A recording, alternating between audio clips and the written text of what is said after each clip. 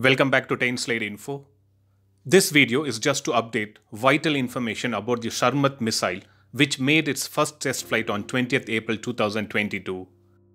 Yes, on April 20th, Russia test fired world's most powerful nuclear capable intercontinental ballistic missile Sarmat.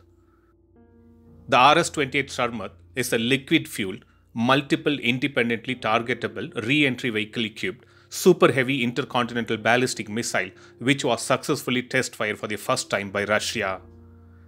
Testing of such a powerful nuclear capable missile which was under development is something that makes the West and NATO countries worry since this test flight is being done by Russia when it is in a war with Ukraine.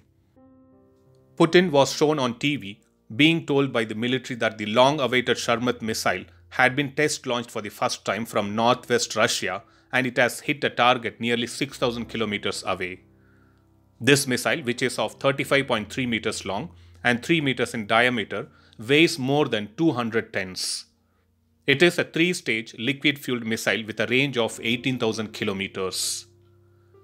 According to Russian President Putin, this missile has the highest tactical and technical characteristics and it is capable of overcoming all modern anti missile systems.